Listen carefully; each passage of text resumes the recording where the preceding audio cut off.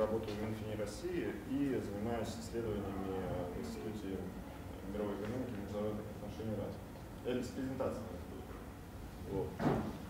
А, и, соответственно, на ну, место моей работы, да, и место, так скажем, исследования, когда и я занимаюсь цифровыми платформами, исследую, пишу диссертацию по ним.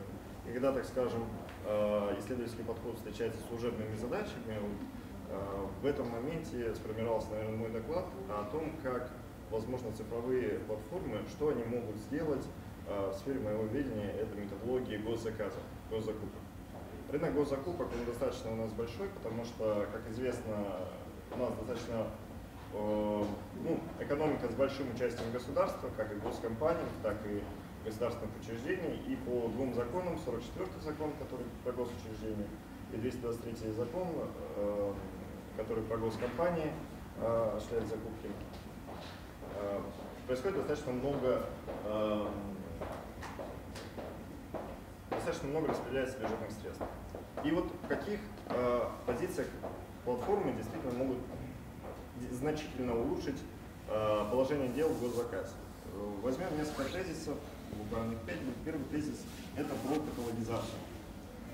Платформа, если она включает в себя э, так скажем, предложения поставщиков и сам набор этих поставщиков, можно собирать с нее данные о том, чтобы каталогизировать и понимать, что, собственно, является предметом контракта, что продают. Потому что известной э, проблемой на рынке госзаказа является неопределенность вот этого предмета контракта. Когда госзаказчик берет и покупает, например, там, ну, вот елку, допустим, да, он берет и говорит, э, в контракте прописывает или в плане закупок, что покупается сооружение зеленое, там, треугольное а, для развлекательных целей.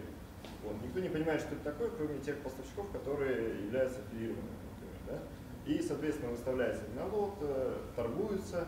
Елка, а, допустим, сколько его стоит? Ну, там, грубо говоря, 1004, да? Вот, э, он ее выставляет за 50 тысяч, это ну, сооружение, да, все зеленое. Вот, оно торгуется, успешно там достигается экономия, не 50, а за 40 покупается, да, например, целая большая экономия, 20%. Вот. И э, вроде как сделка прошла, контракт заключен, все здорово, сооружение стоит там, где нужно. Вот. На самом деле, если была бы платформа, и мы бы смогли действительно идентифицировать на основе э, ну, сбора data с поставщиков о том, чем они торгуют, и когда заказчик берет и пишет ТЗ на некое сооружение и на некий неопределенный э, предмет контракта, э, так скажем, системы вот эти информационные могли бы понять, что из этого описания, скорее всего, друг мой, ты говоришь про елку. Да?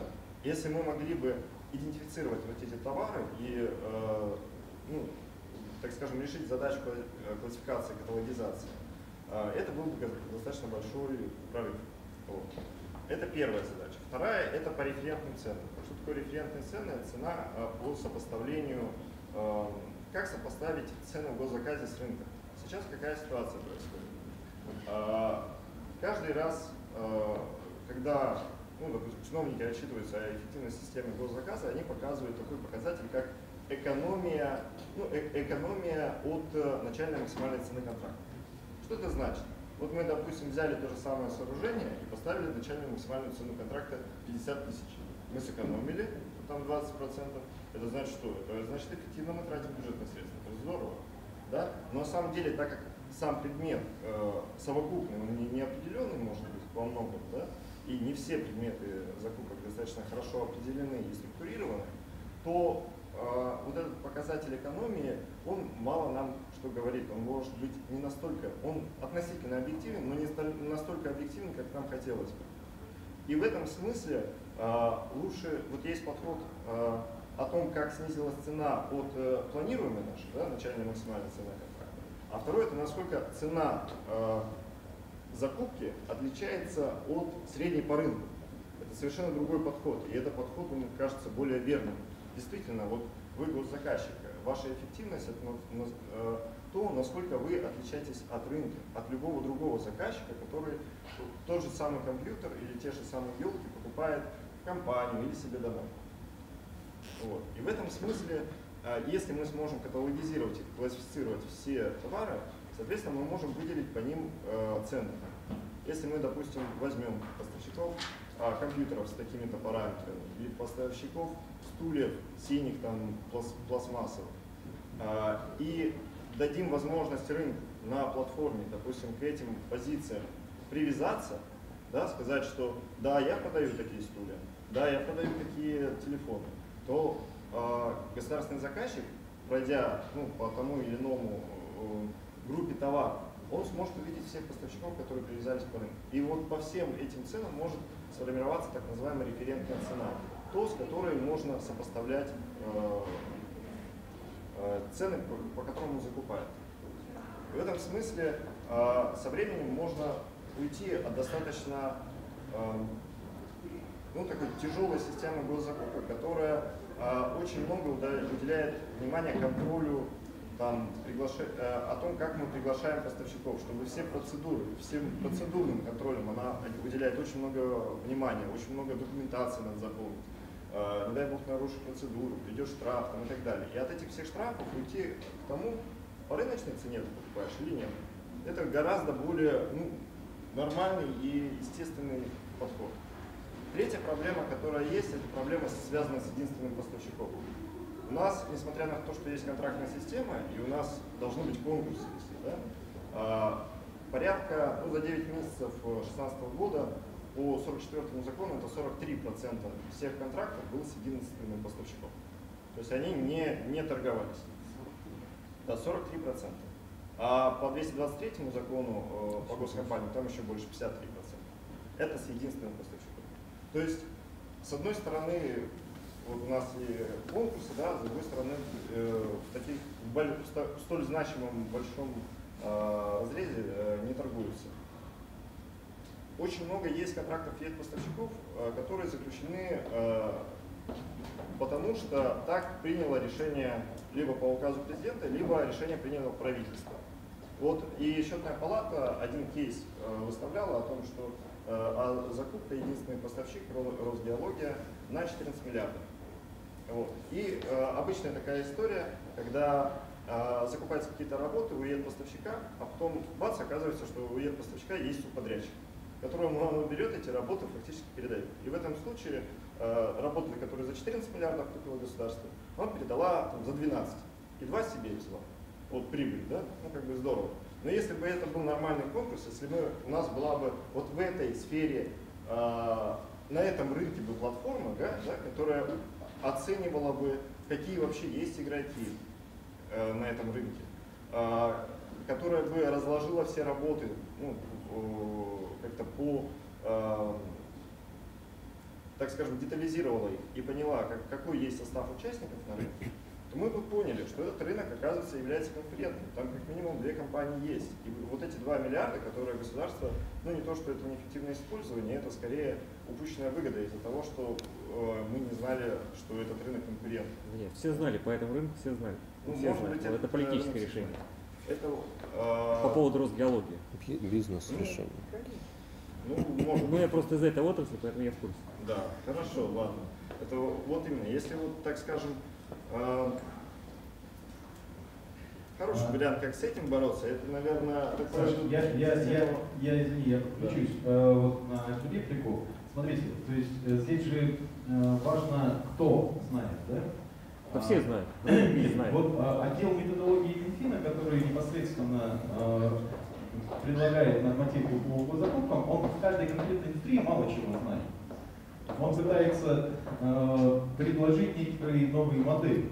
И в этом смысле, да, понятно, что в каждой конкретной индустрии мы все понимаем прекрасно, что там происходит. Да? Но как поменять общие правила игры для того, чтобы это было понятно, в том числе регуляторам, ФАСу, Минфину, Минеку и так далее. Вот в этом смысле и есть задача, потому что решения фактически принимаются методологически на их уровне, а мы уже э, просто наблюдаем, кто и как э, является королем госзаказа. Да. А, а, есть решения очень простые. У нас, э, извините, пожалуйста, у нас э, существует на рынке услуг и на любом профессиональном рынке есть э, профессиональные вузы, академии. Там, где очень много работает специалистов, которые являются независимыми экспертами. И то, что касается Минфина и любых госконтрактов, и в том числе госзадания, да, то есть даже там сайт, там есть регистрация на госзадание. Так если бы было бы желание да, со стороны, скажем, государственных э, структур, то самое простое решение – это, допустим, Минфин э, выступает как заказчик для разработки системы отраслевых услуг и перечня.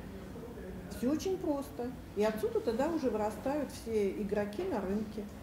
А для этого надо сначала сформировать перечень услуг, которые уже э, через госзадание э, являются конкурентными на рынке. Нет, у меня вопрос. А, а это Поэтому нужно... это все можно сделать, было бы желание. Это... Через госзадание это можно сделать. Это нужно? Другой вопрос, да. То есть кому это нужно? Ну, то есть вы говорите, что вот мы бы более эффективно использовали государственные средства. А это вообще нужно кому-то? Вам нужно? Вот мне, Нам ну я, я там не участвую, то есть это не мой бизнес, Окей. понимаете, там а, есть э, свои интересанты. Да. А, две моменты, которые я хотел сказать, два тезиса, эти три сказал про а, каталогизацию цены единственного поставщика. А, третье, четвертое, вернее, про отдельные Uber в отраслях. Да, вот мы говорили, говорили про платформы отраслевые, да, и, допустим, если бы сейчас э, я хотел бы доехать до дома на такси и заказал бы эту услугу через официальный сайт закупок, да, я бы, допустим, здесь на неделю остался. Вот. Неделю ли, Процедура еще предполагает неделю. Да, да, да, да. И это, может, была, была бы одна из самых дорогих поездок в моей жизни. Вот. А, если бы это сделать через отраслевую платформу, которая уже существует на рынке, это Яндекс, Такси, Uber или Get, да, то есть это гораздо было бы проще сделать. Да? И наверняка существуют какие-то такие отрасли, в которых, в том числе в госзаказе, в том числе вообще э, в рынке, а, можно было бы действительно гораздо дешевле закупать. И, возможно, а, отдельными решениями, этот порядок, вот, возможно, вы подскажете, коллеги, мне, а, и какие это отрасли, можно было бы сделать так, что в отдельных отраслях можно покупать не как обычно, а через отраслевые платформы. Допустим, если мы говорим, а, коллеги упоминали о строительстве, о BIM-платформах в том числе, если использовать именно вот э, сделать так, что, допустим, не подрядчик и субподрядчик распределяли да, вот, контракт на строительство и возникали те проблемы, которые э, зачастую возникают. А это были бы цифровые платформы в сфере строительства, которые э, как раз нарезали э, всю проектную, ну, делали модель, во-первых, того объекта, который нужно построить или реконструировать.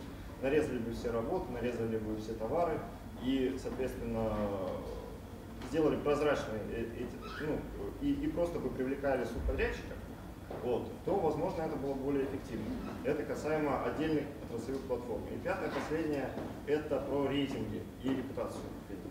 Сейчас есть э, в 44-м законе, в том числе, такое понятие, как обеспечение контракта есть обеспечение заявки, что если вы хотите просто участвовать э, в тендере, вы немножечко кладете денег, э, вы выиграли, не выиграли, э, эти деньги, соответственно, вам обратно возвращаются. А есть обеспечение контракта, когда вы, вы законтрактовались с госзаказчиком, и до 30% госзаказчик берет у вас деньги для того, чтобы он точно знал, что вы, как скажем, не кинете, хотя бы у вас у него останется вот эти 30%. Да?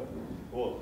И эм, это сделано для того, чтобы обеспечить безопасность заказчика. Но если платформы имеют такие механизмы, как рейтинги, если действительно на Alibaba таких э, ну, э, случаев, когда, допустим, э, заказчик, там, ну, в этом случае это может быть физлица, юрлица, они имеют достаточно высокий вот этот процент доверия к поставщику. Сама платформа обеспечила вот это доверие, как э, рассказывал Алексей, да, то есть то, возможно, вот эти, с этими цифрами значительно их можно уменьшить. То есть э, риск-менеджмент от этого государства, ну, можно меньше платить, у, ну, брать вот эти обеспечения у поставщиков и, соответственно, увеличить к ним доступ к рынку, как мне кажется. И, наконец, как последний тезис, можно сказать, что именно платформы может, ну, как и в сфере госзаказа, как и в многих других сферах, они могут привести к тому, что все же госуправление у нас будет основано на данных не на каких-то там решениях, которые где-то в кабинетах принимаются на основе там, раз, различных факторов. А все же это будет, э, так скажем, data-driven government, э, где у нас будут объективные данные, которые видят и рынок, видит и государство, и на основе вот этих данных мы сможем принять решение. Или в госзаказе, или в любой другой сфере. Пожалуйста. Спасибо, Саша.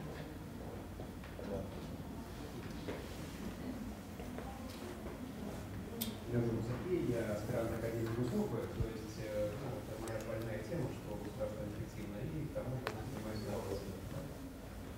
А знаете ли вы, сколько в России государственных информационных систем? Сколько? Сколько в России государственных информационных систем? Информационных систем? Их достаточно много. А эффективность, что даже это слово нельзя называть. Да, да. Ну да, это, это летние данные были бы. Я к тому, что, знаете, что дело? Учитывая, что наша страна э, государственный держит 7% прямого контроля экономики, государство получается, что мы в государственном нашем секторе воюем сами собой. То есть тут у нас работают деньги, гаранции не Обама, который уже ушел в отставку. То есть на этом уровне эффективности управления, управления это катастрофа, Э, проще взять вариант, ну, честно говоря, Алиэкспресс, э, в Почту России, например, да, и дальше этот пример масштабировать другие экономики. Вот, э, понимая весь ужас катастрофы, как вы с этим живете, я сейчас не представляю. Пожалуйста, вашу оценку успешную. Как жить с этим ужасом?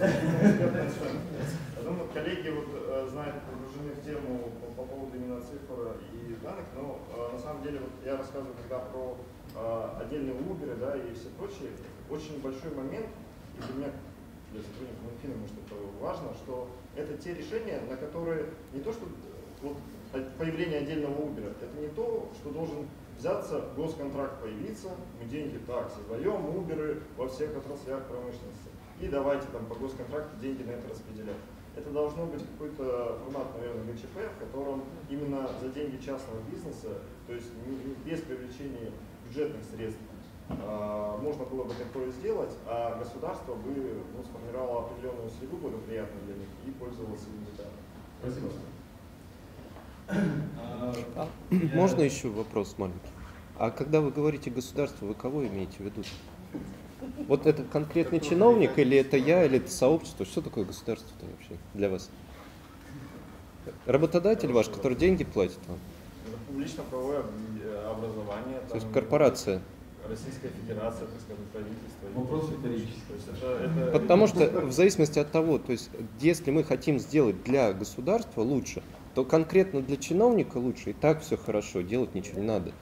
Если мы для э, Путина, ну, условно, там, для самого главного владельца, то там, понятно, надо другую систему какую-то. Если для меня нужно делать как составную часть этого э, сообщества, то, то другая вообще система. Я то есть, как бы... абсолютно точно. Вот у нас цель – это эффективность бюджетных расходов. Это эффективность бюджетных средств, это те деньги, А, то есть на самого главного владельца. Все да, понятно. на налогоплательщика. Ну, понятно. Спасибо. А, ребят, я предложу чуть-чуть ну, поменять свое отношение к тем выступающим, которые здесь присутствуют.